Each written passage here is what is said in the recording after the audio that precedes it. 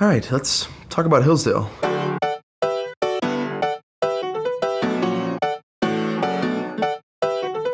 When I was considering going to college, my 18-year-old self was quite overwhelmed. I wasn't sure what exactly I wanted in a college. I visited. Then I visited and I met with some professors. I fell in love pretty fast. Everyone really was so welcoming. People are really passionate about what they're learning. I really was drawn by the challenge it presented. I'm going to be completely honest with you. Hillsdale can be really challenging. One thing Hillsdale's big on is the liberal arts. You learn a lot of different things from different fields. Philosophy, theology, history, and the great books classes. math, science. Western heritage, the Western tradition. Hillsdale has really great conversation between courses that you'll take. The liberal arts is fundamentally answering the question of what it is to be a human being. But what makes it so worthwhile are the people and the friendships that you make along the way. In all of my experiences with professors, they're always very approachable, they're willing to help. Students, professors interact with one another and really care for one another. The professors know you by name and know your story. Hillsdale has something unique to offer. It's a place to work on reordering your soul.